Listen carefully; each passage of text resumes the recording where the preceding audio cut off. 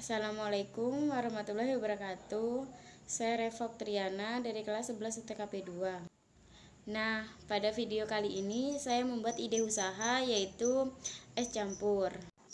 Nah, berikut ini bahan-bahan dan cara pembuatan es campur. Ada karet dan juga plastik, jeli hitam, jeli merah, jeli hijau, dan gula pasir, dan juga kolang kaling, susu, air, dan juga es batu. Nah, pertama-tama masukkan jeli hitam, lalu jeli merah, dan ketiga jeli hijau. Dan yang kedua yaitu masukkan kolang kaling, secukupnya saja ya, Bun.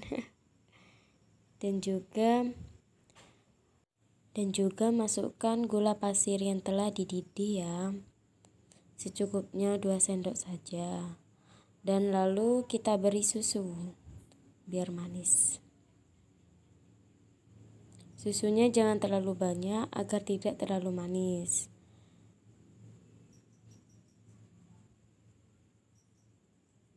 Dan lalu kita kasih air dingin. Secukupnya jangan banyak-banyak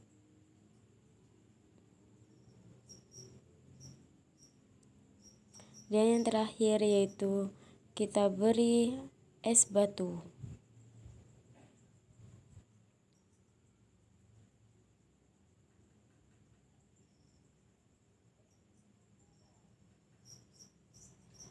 Nah nah setelah selesai lalu kita angkat dari gelasnya. Dan lalu kita ikat dengan karet yang pertama kali sebutkan ya